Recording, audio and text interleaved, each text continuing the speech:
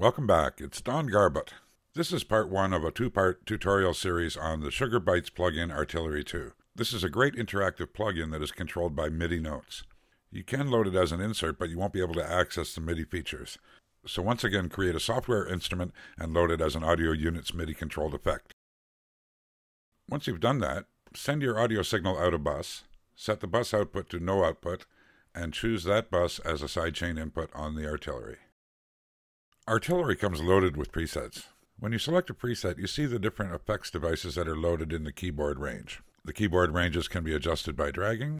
You can adjust the boundaries of a keyboard range. You can delete an effect by control or right click. And you can add an effect on any of the black key areas here by just clicking. These will be the key areas by which you can control the effects from your MIDI keyboard.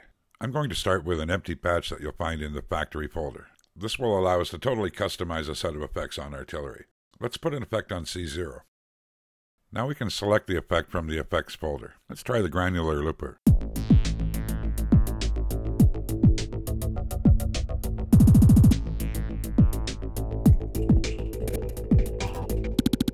You can hear that the effect happens when I push the key down.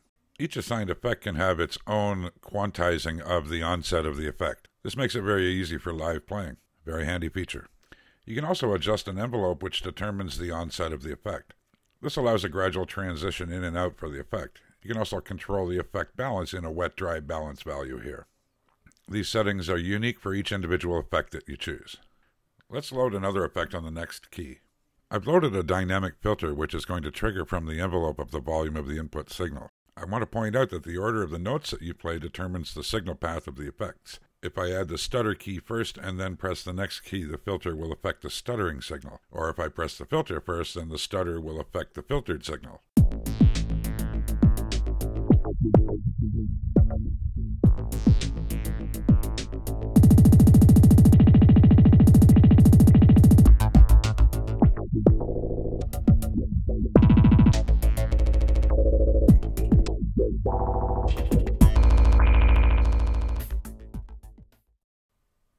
If you want to manually activate an effect, you can automate the on-off button here.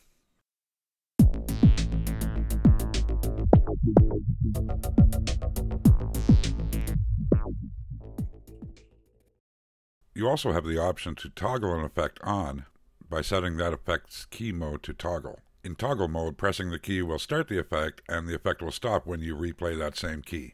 If you're using an effect with a sloping onset and release, if you switch the retrigger to legato, then as long as you don't have a gap between your notes, the envelope doesn't retrigger when you're playing notes within the range of one effect. Again, each effect has its own envelope and its own characteristic trigger settings. All the controls in Artillery are MIDI assignable as well. Just control or right click on a knob, move a MIDI fader, and away we go. Let's check some more plugin types. You see the categories of amplitude effects, modulation, delay, filter, granular, and special. Let's jump into special and see what we have. Here we have a keyboard controlled pitch shifting effect. For that I'm going to give it a bit more keyboard range.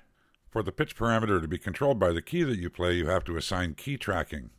Give it full value and that gives it a semitone shift per semitone on the keyboard. I'm playing these examples live so the timing may not be exactly perfect. So I'm going to use the key quantize function to make the timing a little tighter.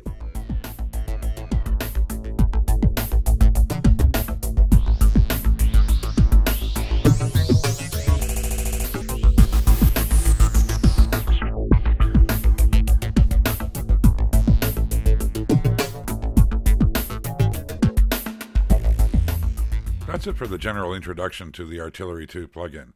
On the next tutorial, I'm going to go into detail about selecting modulators and assigning them to targets in each plugin. Each parameter in every plugin can be a target from any of the modulators. It's a very flexible system. We'll look at that in the next tutorial. Bye for now.